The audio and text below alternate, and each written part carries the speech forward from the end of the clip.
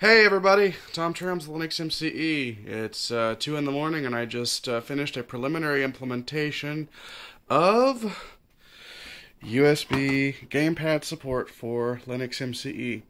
Now what this basically means is that you can use any USB gamepad and use it to control the orbiter on Linux MCE.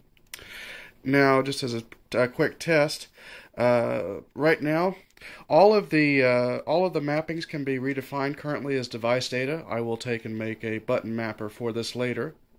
But for now, I've set some of the defaults to reasonable default values, and they all map to a fairly standard six-axis compatible uh, joystick layout here. In my case, my uh, I have 12 buttons and uh, six axes here. So, getting started, I go ahead and I press the uh, one button here, and that's the OK, but it also brings up my menu here. And uh, arrow keys and whatnot work as expected, as you can see here.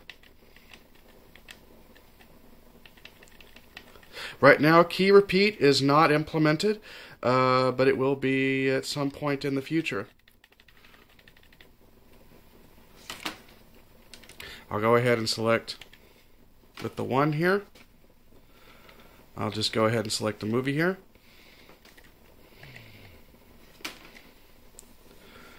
Scroll down over to the left. Now it is worth noting that the analog controls also select.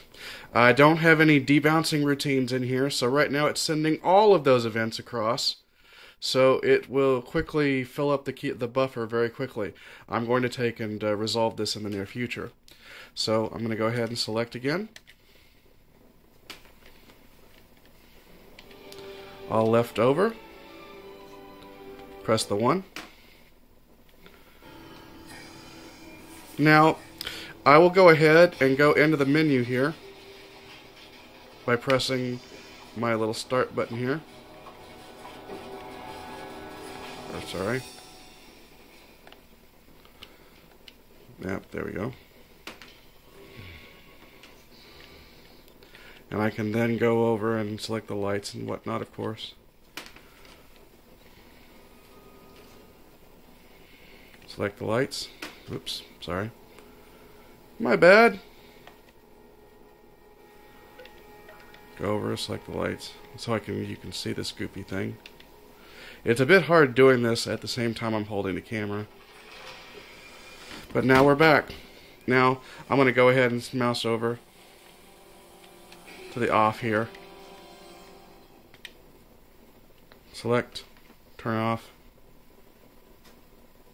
And just to show that this actually works across the board, I'm now going to actually go to, uh, I'm now actually going to go to Hulu.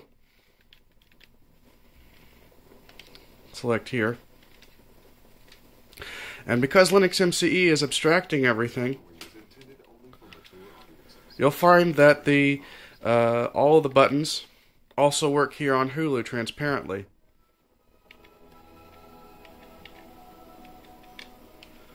Front, back, etc.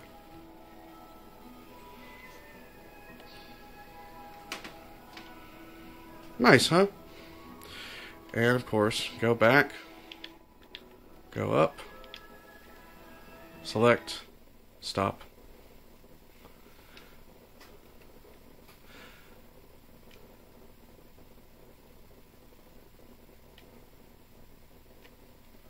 And of course, going over to TV also works as well. You'll note that this works an awful lot like the infrared remote control. As it should, because it's using the same code essentially. I'll go ahead and select this. And you'll notice that I'm using the gamepad to select these things and to do the proper adjustments. Now, currently, uh, the one thing that I need to do is I need to modify Orbiter to send screen type notifications to my uh, to send screen type notifications to my gamepad device so that I can properly change button mappings on the fly. And once this is actually done, we'll find that the uh, orbiter mapping and everything else will work properly.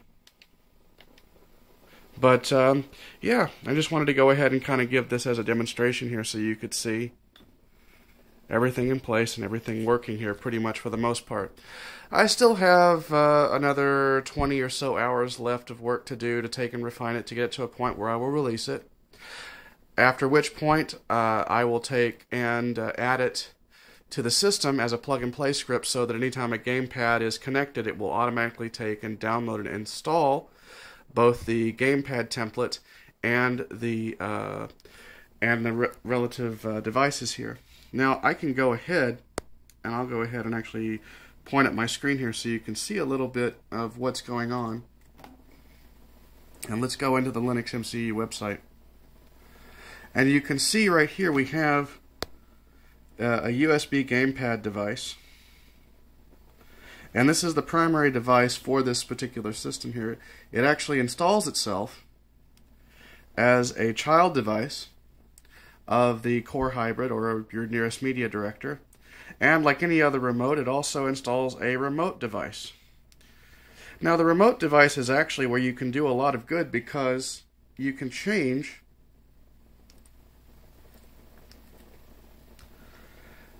the key mappings. As you can see here, first you have here is the keysym then you have the equivalent USB gamepad symbols here to use for both uh, repeat and uh, for both uh, down and repeat. Currently repeat is not being used, but it will be some, at some time in the future.